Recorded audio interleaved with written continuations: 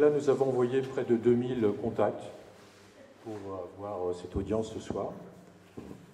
On va répéter ça tous les, tous les mois sur cette fin d'année et ensuite on continuera. Donc Sibyl s'occupe, dirige le groupe Les Valeureux qui est à Paris et elle met en place une plateforme informatique de mise en contact de mise en circulation de toutes les données pour n'importe quelle association, institution ou entreprise. Un énorme travail qui est en, fin de parcours, qui va être à disposition à vous si vous faites partie de collectifs ou d'associations. Euh, donc notre objectif pour nous, c'est, vous avez sûrement tous entendu ou peut-être vu une vidéo ou un truc à la télé sur les monnaies complémentaires locales. Qui n'en a pas entendu parler? Bon, c'est parfait. Donc vous savez que c'est en plein développement. Il y en a une vingtaine qui sont en route, en qui marchent en France. Bonjour, venez par ici.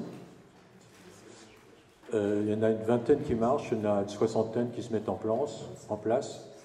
Et dans le monde, on pense qu'il va y en avoir 5000 bientôt en, en route.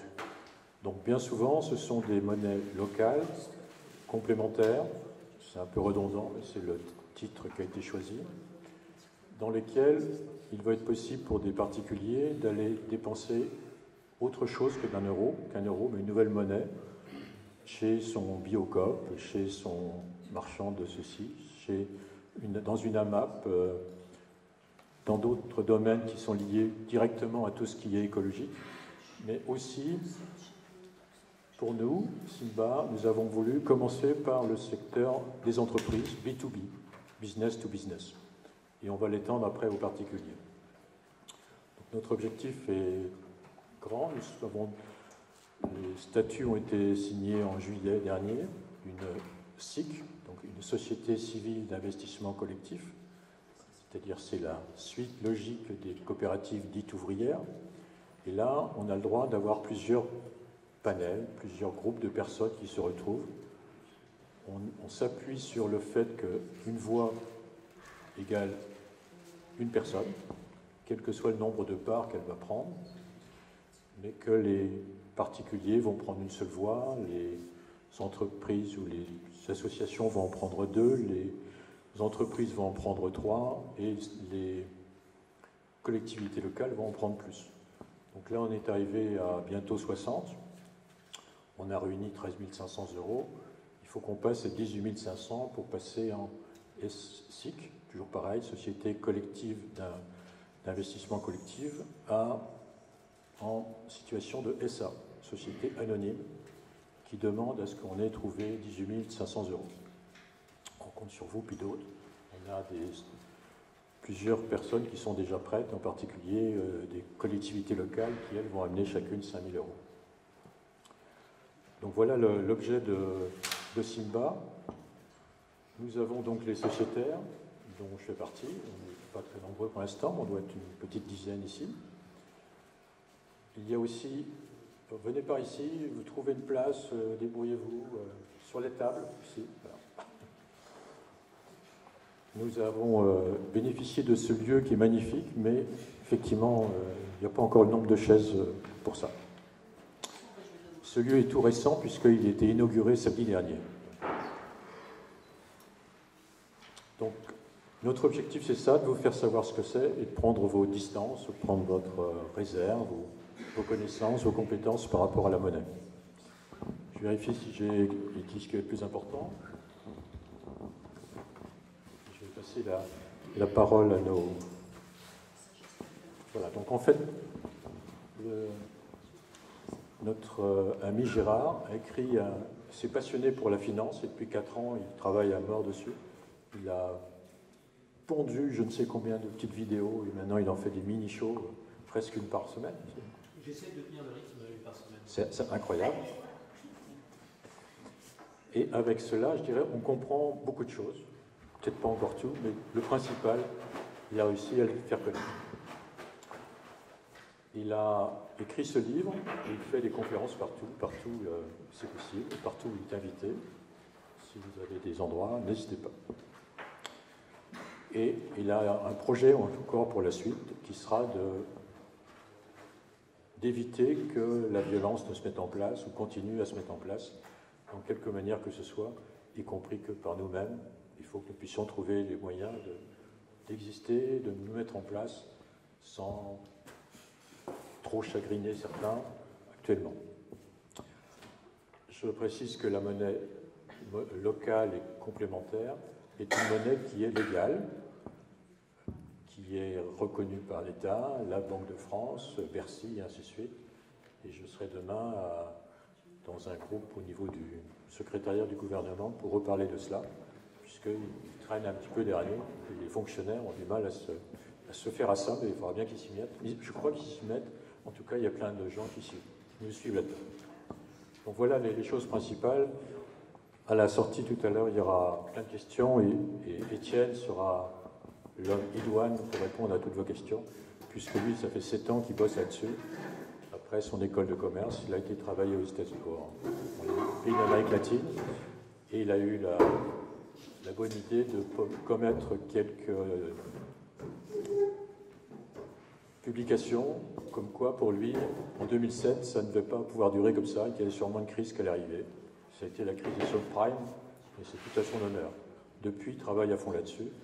Il a été un de ceux qui ont aidé à mettre en place la monnaie locale à Nantes, par l'équipe du Premier ministre euh, d'avant.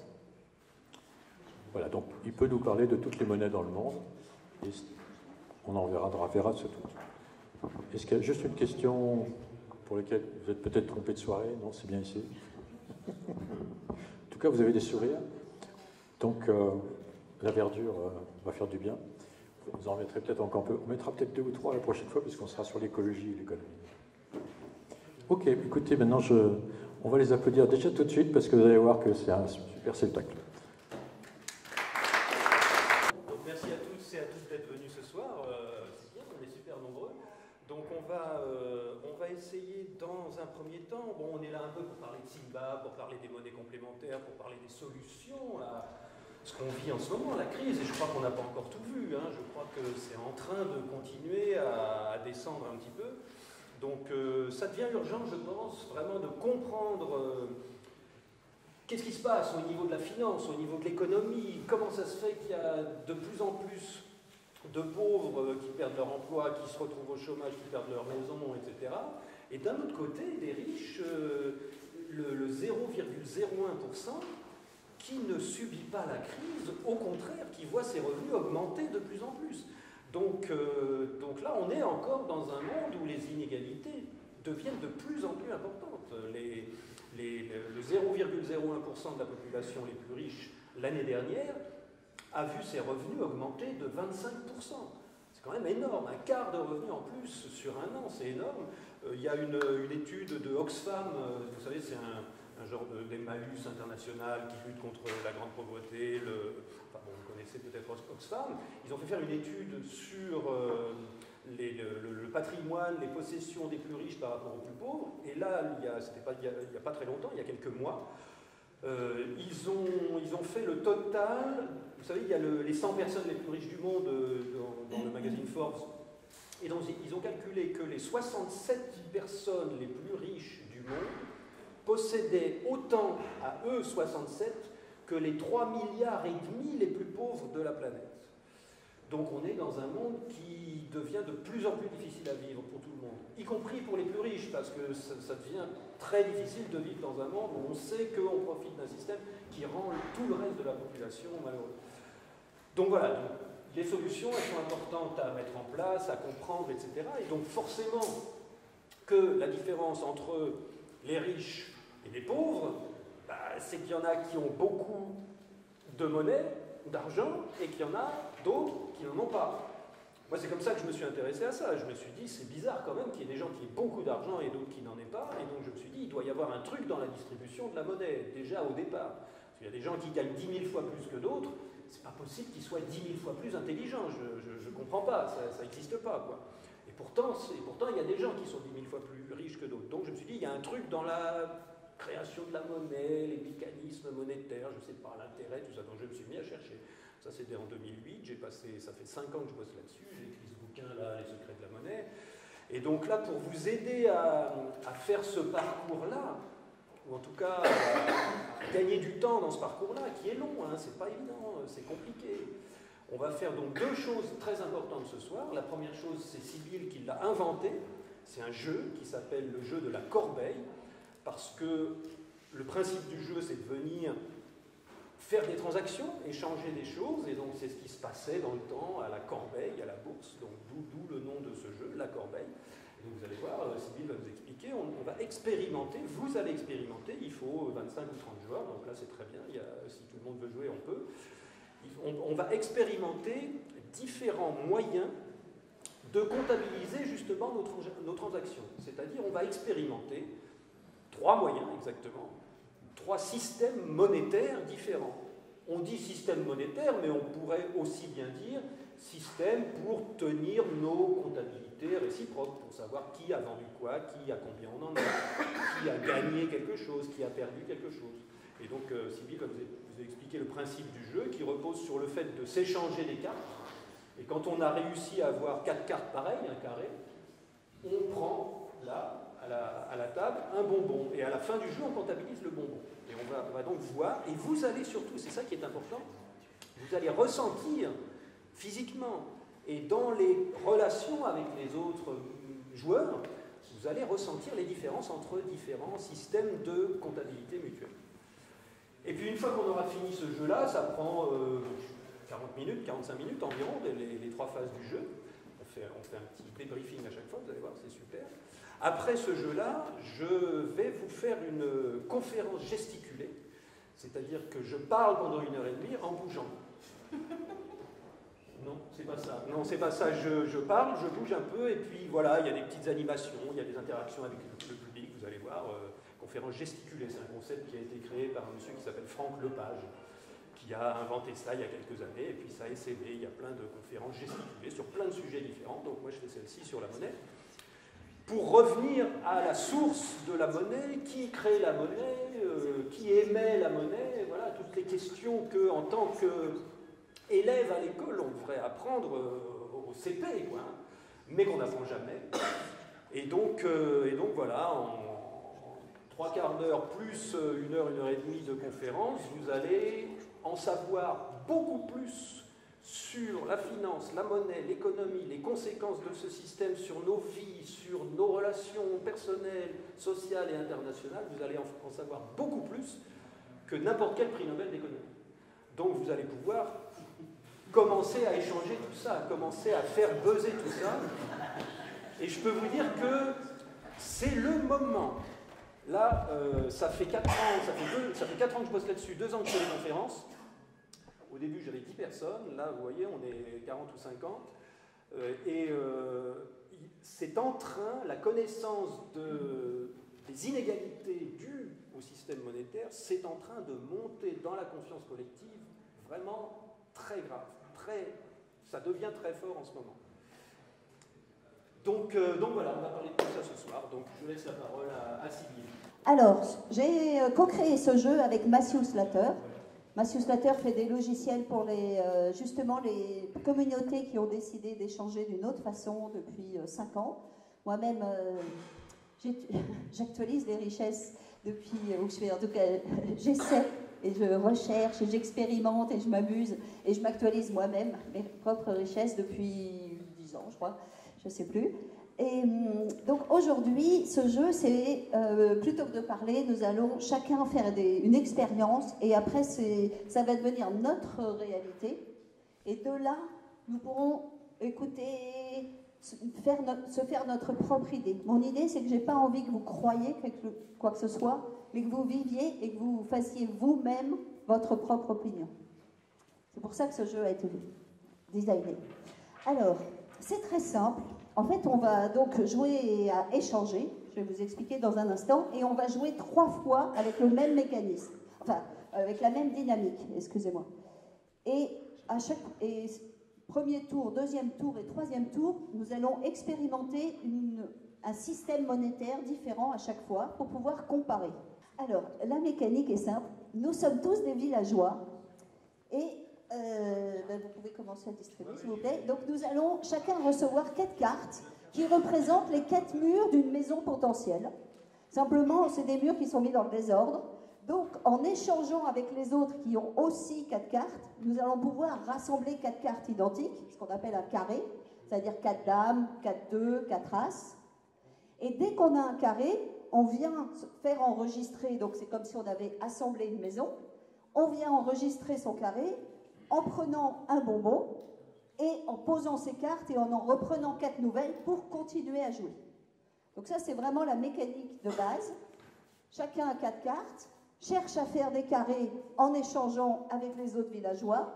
Dès que le carré est fait, il vient à la caisse, à l'enregistrement, poser ses cartes, reprendre quatre nouvelles cartes au hasard et un bonbon pour, afin qu'on puisse compter combien de maisons auront été faites. Est-ce que ça vous semble clair? Ces cartes, on en prend quatre au hasard et on prend un bonbon. Plein de fois, autant qu'on peut. L'idée, c'est de faire plein de carrés pour que tout le monde puisse se loger.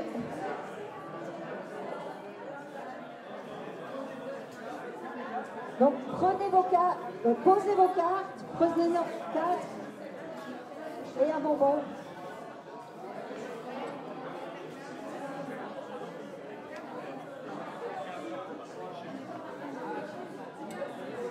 Et normalement.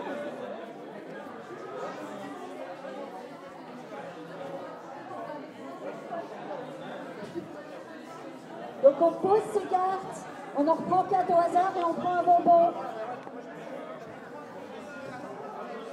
Allez, encore une minute.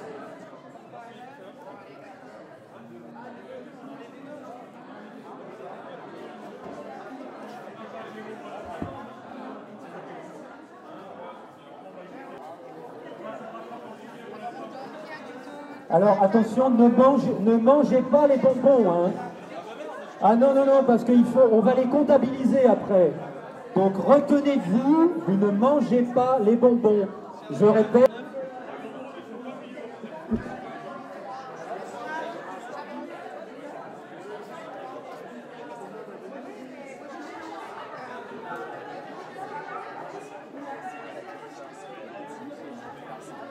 Oui, c'est sûr.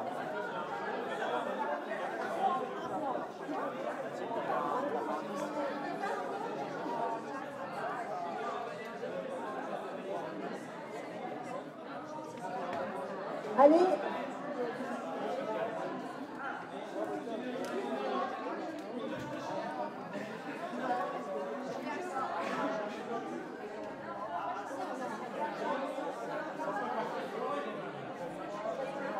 Allez.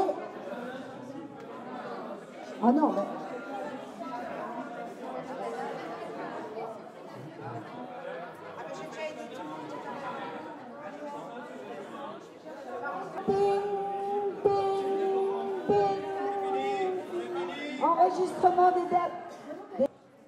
Gagné des bonbons, vous les, vous les montrez parce qu'on va les compter, parce qu'à chaque tour, on va essayer de comptabiliser pour voir si ça marche mieux ou moins bien, ou Tiens. comment vous vous êtes senti, etc. Donc on commence là. Voilà. Donc 1, 4 et 1, 5, 6, 7, 8, 9, 10, 11, 12, 13. Combien il y en a? 13, 5, 18, euh, 19, 20. Vous me dites combien vous en avez? 24, 20, 28, euh, 30, 33, 36, 39, 40, 41. Ok. Et je recommence ici devant. Donc là, on avait 41. Vous vous souvenez, 41 Alors, 4, 6, 7 en tout. Donc 7 et 6, 13. 13 et 4, 17, 20, 22, 24, euh, 24 et 4, 28 et 4, 32, 32 et 2, 36, 38, euh, 5, 43, 46, 46 et 6, 52. 52. Donc là, ils ont fait 52, les gars, là. hein. Et vous, 41. Bon, enfin, je dis rien. Bon. Oui. Donc 52 et 41, 92.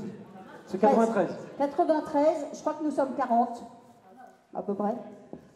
J'espère. Alors, ce que j'aimerais entendre, donc euh, voilà, ça c'est un fait objectif. Euh, 93 carrés en 8 minutes. Et j'aimerais vous entendre pour savoir qu'est-ce qui s'est passé pour vous. Comment vous avez senti le, ce moment d'échange?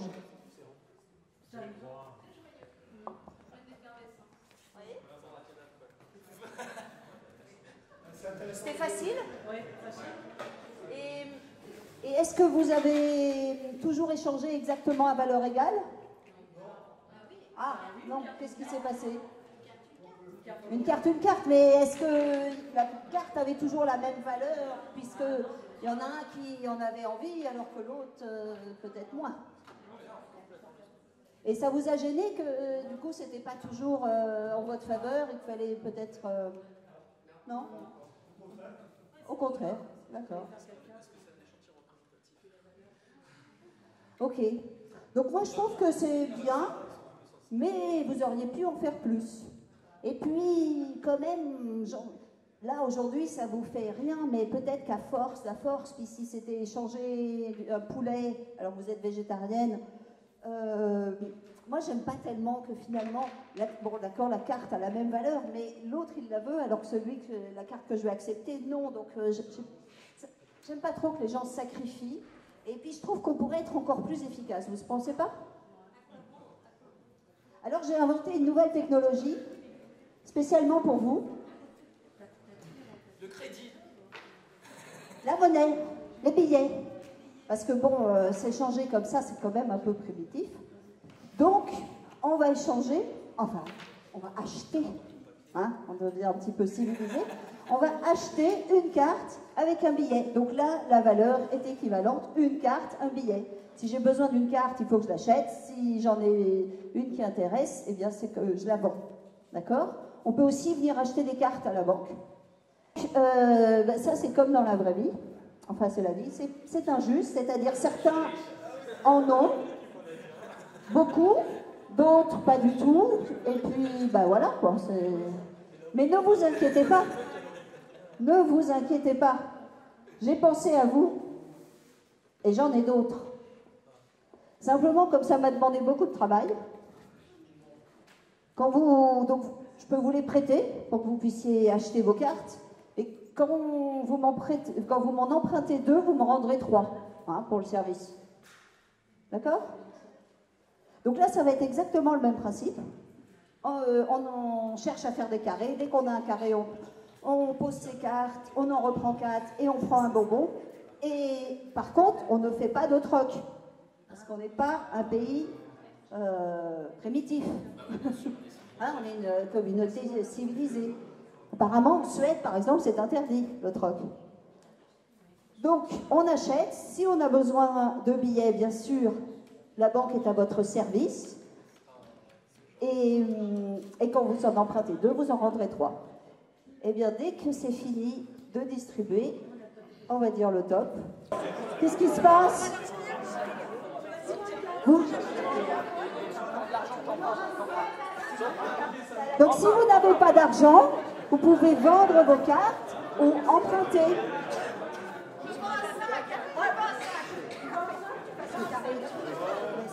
J'ai que trois cartes et un billet.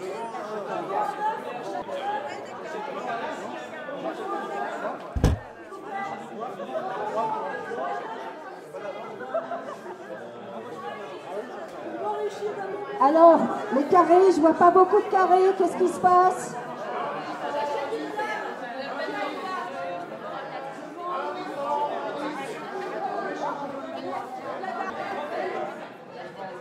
Je vois très peu de carrés. Qu'est-ce qui se passe?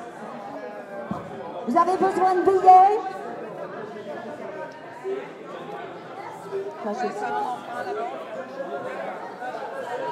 Vous voulez des billets? Vous n'avez pas besoin de billets? Un peu de billets pour acheter? Des billets pour acheter?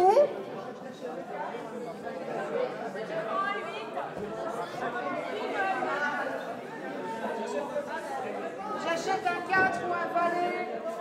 J'achète 4 ou valet. J'achète un 4. Vous pouvez acheter des cartes. C'est pas cher. Un billet à la carte.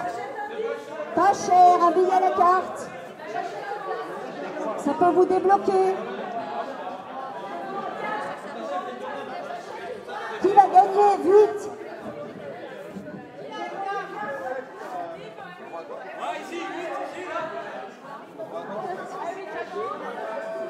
Il y a des billets disponibles. Venez prendre des billets. Achetez des cartes. Vite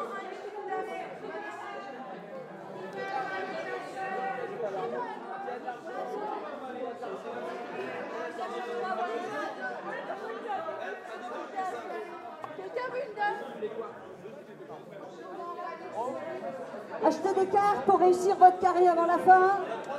Vite, vite, vite. Vite. Allez, allez, allez. Achetez, achetez, vendez.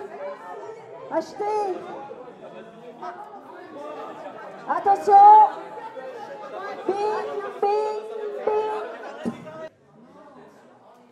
24 24 ici. Donc 60 bonbons, le tour d'avant 93. Bon. Nous allons euh, appeler euh, les personnes euh, qui ont bénéficié des crédits. Gérard, tu veux bien m'aider avec Merlin?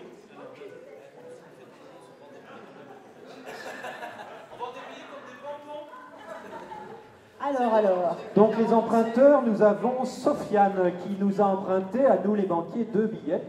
Donc euh, il, nous doit, il, doit, il doit en rendre trois. Voilà. Alors, combien tu as Oh, alors voilà, là, voilà un, un- un citoyen performant qui a réussi à Responsable, euh, responsable. mature. euh, il a dû faire des- une école de commerce, non? Il a fait une école de commerce, c'est un homme d'affaires, il, euh, il sait gérer ses affaires Premier exemple.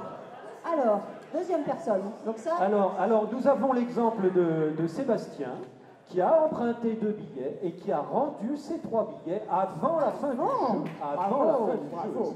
jeu. Sébastien, où il est Sébastien et il Sébastien, voilà. combien tu as de bonbons Oh Alors, Voilà, voilà un deuxième exemple de réussite sociale. Très bien. Hein, Oui. Franchement.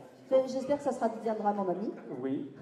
Alors, ensuite, Nicolas qui a emprunté quatre billets. Alors, Nicolas. combien tu en as? Ah, voilà, voilà. Deux. Voilà, voilà Et la tu, veux- tu m'en négligence dois qui quatre de arrive. plus? Combien tu as de bonbons? Oh, bon. Alors, je vais prendre tes deux, tes trois bonbons. Trois bonbons, mais il n'y en a même pas Non, c'est assez. de la fausse monnaie, les bouchons. Non, mais. euh, Bon, hey, tu- bah, excuse-moi, mais là, tu vas en prison. hein. Allez, hop. Prison pour dette Ah oui. Euh, ah, ça pardonne pas. Alors ensuite, on a Jeff qui a emprunté deux billets. Alors, Jeff, Jeff, il a emprunté deux billets. Est-ce qu'il peut rendre trois billets? Ah, Ah, mais. Voilà. Ah, donc, on, on voit qu'aujourd'hui, nous avons affaire à des Ah oui, citoyens très oui. hein, ils sont responsables. Oh, je suis épatée. Ça se passe pas toujours comme ça. Il a même un bonbon et un billet En plus. en économie. Alors, Anne, qui nous a emprunté deux billets, qui doit en rendre trois. Alors, Elle paye ses dettes aussi. Ah, les femmes d'aujourd'hui sont formidables. Elles ont vraiment tout compris. Ah. Et enfin, on a, non pas enfin, on a Karina qui a emprunté deux billets. Karina. Elle a, elle a emprunté et elle a dépensé l'argent. C'est une artiste, je crois. Voilà les, Écoute, les euh, il faut savoir être responsable. Tu as emprunté, bon, tu m'en dois trois. Non, mais tu vas quand même en prison. Tu, tu... Cellules séparées. Donc, Et enfin, nous avons ah, Petra encore. qui a emprunté deux billets. Elle a deux bonbons. Zéro billet Non, non, mais les- la dette. La Ah, dette. non, mais il faut, en plus, ça coûte cher de les mettre en prison. Ça serait quand même pas juste que ce soit les autres qui payent. Ouais. Alors, donc, nous avions gagné, vous avez travaillé, créé 60 carrés. La banque en a repris. 7. Donc déjà, il en reste plus que... Où est mon papier?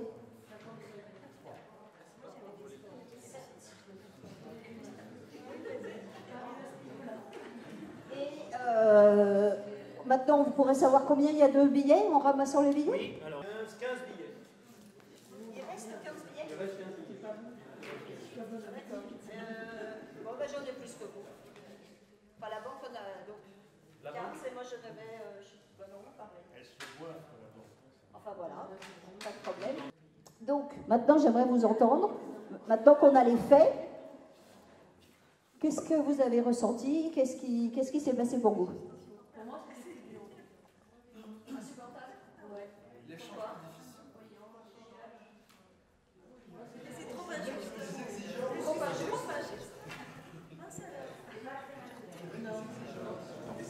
Et il y en a qui ont plus que 4 billets, par exemple, qui avaient plus que 4 billets.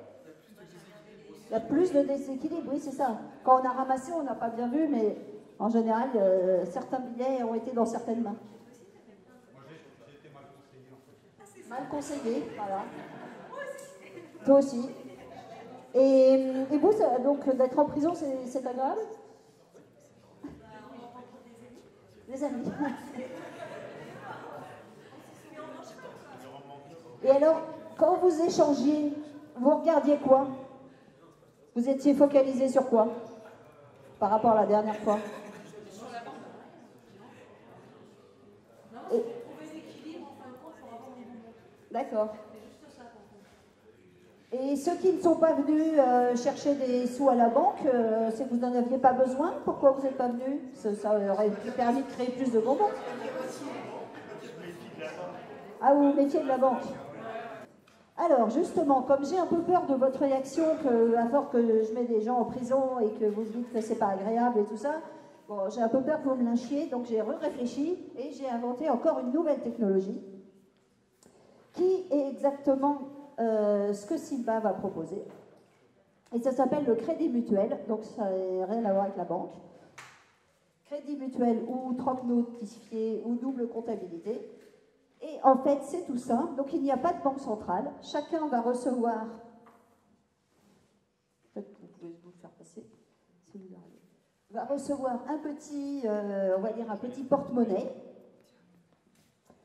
qui a une graduation de moins 5 à plus 5 en passant par 0. Donc, s'il vous plaît, euh, commencez en mettant à 0. Et en fait, l'idée, c'est qu'on va, donc crédit mutuel, ça veut dire qu'on va se faire confiance mutuellement et qu'on va pas avoir de monnaie, mais on va compter nos échanges. Alors comment, on compte les échanges?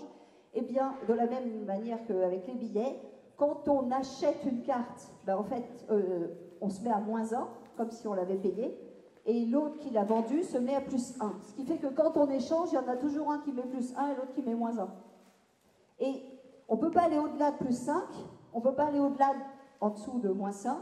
Donc si vous êtes coincé à plus 5, ça veut dire qu'il faut acheter. Si vous êtes coincé à moins 5, ça veut dire qu'il faut vendre. D'accord Euh, De la même façon, on peut venir chercher des cartes à la banque qui a elle-même ses petits porte-monnaies. Et sinon, c'est la même dynamique. On essaie de faire des carrés. On- dès qu'on les a, on vient poser les cartes, en reprendre quatre au hasard, prendre un bonbon et continuer. Ça vous va C'est parti. Et vous prenez un bonbon et c'est reparti.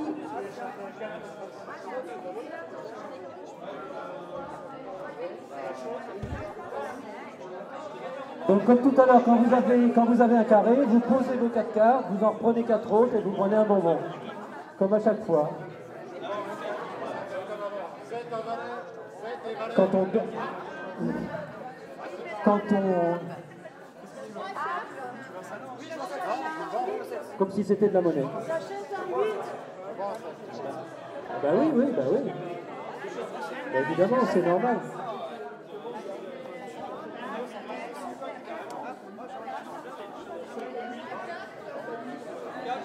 Donc celui qui donne la carte à plus 1 et celui qui la reçoit à moins 1. Carte, On en reprend 4 au hasard, sans avoir à payer bien sûr, et un bonbon.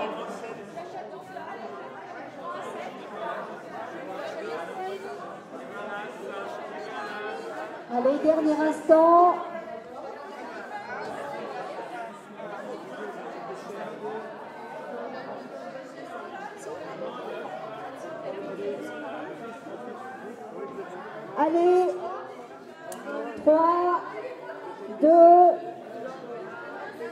Attention. 5, 4, 3, 2, 1. Donc, les faits nous montrent euh, quasiment autant de bonbons que le premier, euh, beaucoup plus que le deuxième. Et surtout, j'aimerais savoir comment ça s'est passé pour vous.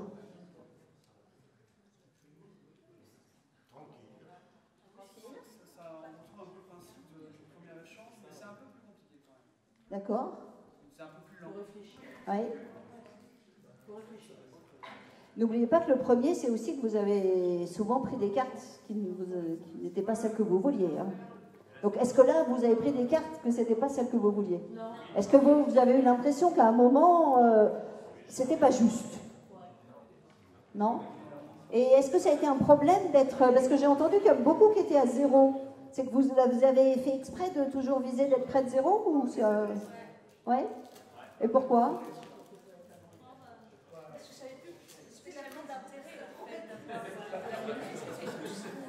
L'acquisition du bonbon était beaucoup plus intéressante, enfin l'accumulation du bonbon était plus intéressante que l'accumulation. Donc tu étais plus intéressé par les bonbons que par ce qui se passait sur ton petit porte-monnaie. D'accord. Mais certains euh, avaient un souci de rester autour de zéro.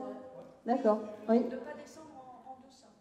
Pas descendre en deçà de zéro. Ça, c'était un problème. D'accord. D'accord. Et il, allait t'arriver quoi si tu allais dans le moins? Et non? Est-ce que j'ai appelé quelqu'un en prison? Et voilà. Non, mais ça, c'est l'effet psychologique des comptes en banque. C'est ça. Et est-ce qu'il y en a qui ont été euh, sans problème dans le négatif? Oui Et ça vous posait un problème? Ah non, c'était plus pratique, on a plus de cartes à échanger. D'accord. Et à un moment, vous, vous retourniez dans le positif ou vous étiez toujours dans le... D'accord. Mais vous n'êtes quand même pas trop négatif pour quand même continuer à pouvoir acheter. Bah, L'idéal, c'était de faire une carte contre une carte. Ouais. Ah, vous avez troqué? Bah non, donc Ah. une carte, J'espère que non. D'accord. à moins 4, il donne en premier. D'accord. Et est-ce que vous avez fait, peut-être certains d'entre vous qui étaient peut-être moins complètement dans le jeu, est-ce que vous avez noté une différence de- d'ambiance dans la salle? D'accord. Bon, alors si. Finalement, on préfère quoi? La troisième En l'améliorant euh, qu'avec nos téléphones, on ne- pas que ça marche tout le temps, quoi, la comptabilité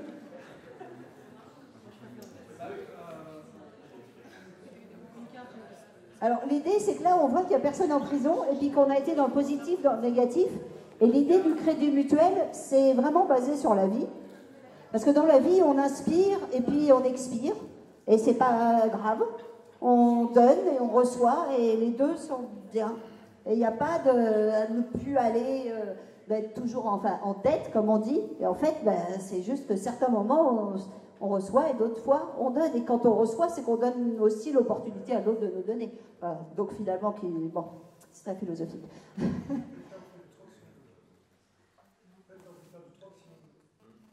Alors voilà, alors par rapport au troc, qu'est-ce qu'on peut... euh, Là, c'est plus équilibré. L'équilibre n'est pas obligatoire. Oui.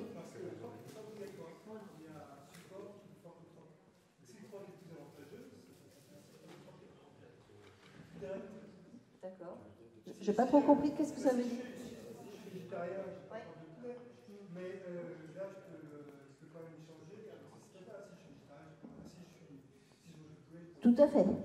C'est ça, pour moi, ça me semble plus équilibré le troisième que le troc, ou... sauf si on se met à plusieurs.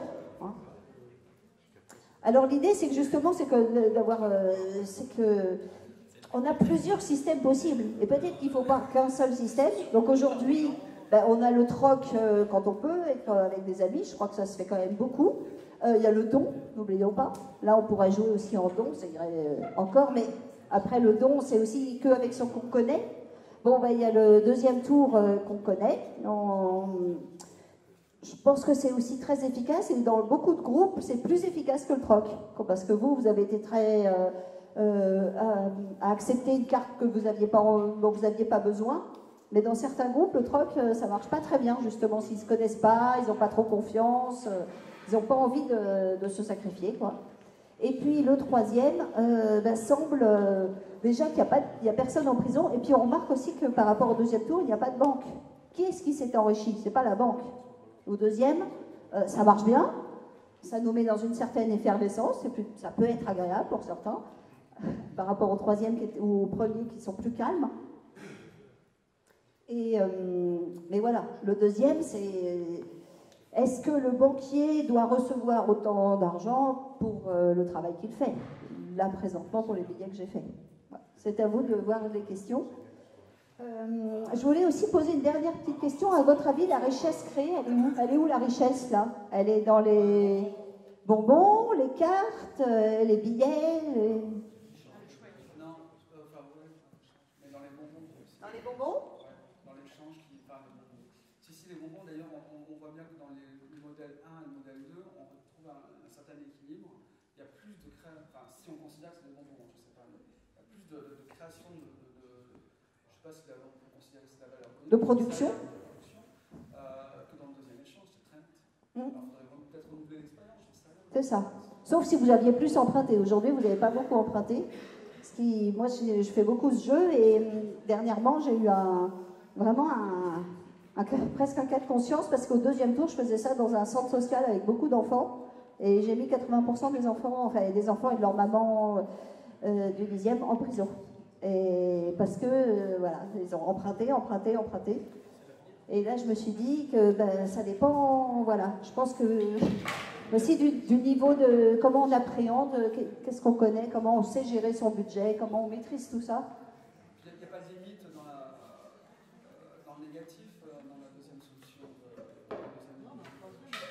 Dans le deuxième, non, on peut emprunter, emprunter, emprunter. Il n'y a pas de limite. Non. Honnêtement, alors que dans le, le troisième, on trouve qu'il y a une certaine limite d'endettement qui fait que Et finalement, c'est pas un endettement, c'est un crédit, puisqu'il n'y a pas d'intérêt à, rendre à qui que ce soit. Ceux qui ont, fini en négatif, vous avez remarqué qu'on leur a rien demandé, euh, ni ceux qui étaient à zéro, ni ceux qui étaient à plus, et que même euh, finalement, entre nous, on, en- on s'en fiche un petit peu où on en est de- sur notre bracelet. le Eh bien, merci. Ah oui, euh, par rapport à la richesse, je vais répondre quand même euh, sur euh, qu'est-ce qui est de la richesse? Donc, effectivement, les bonbons sont une richesse ou sont plutôt la représentation d'un carré. À part que le bonbon, on peut le manger, mais après, si c'était une vraie maison, on pourrait dire que c'est de la richesse.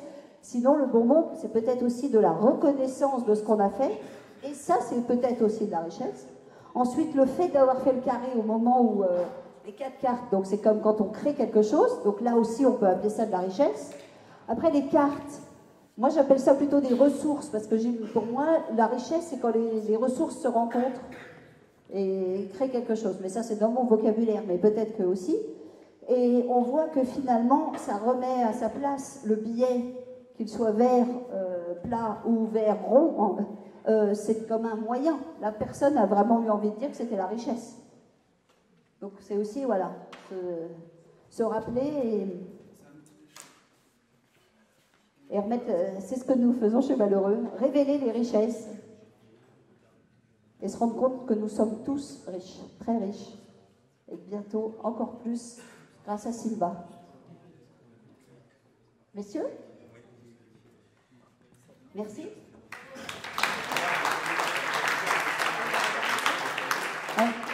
Je sais, toi aussi. Euh, juste, euh, ce jeu, il est en Creative Commons, c'est-à-dire que tout le monde peut l'utiliser et, et si vous voulez bien nous citer et puis surtout nous raconter comment c'est passé et puis il y a même euh, tout le kit pour, fabriquer tout et tout ça. Donc vous allez sur le site de vous, enfin la Corbeille. En fait, le jeu La Corbeille, ça y va directement, c'est sur le site de Valheureux. Pour ceux qui le veulent en anglais, euh, vous trouvez donc la traduction en anglais, c'est The Pro Trading Game. Et ce jeu tourne en fait partout en France et à l'étranger. Et donc, euh, emparez-vous. Ce que pro- ce j'invite, c'est de d'abord y jouer avant de l'animer, parce que même si j'ai essayé d'expliquer, je pense qu'il faut le vivre. Mais je serais contente euh, qu'il se joue partout. Merci bien.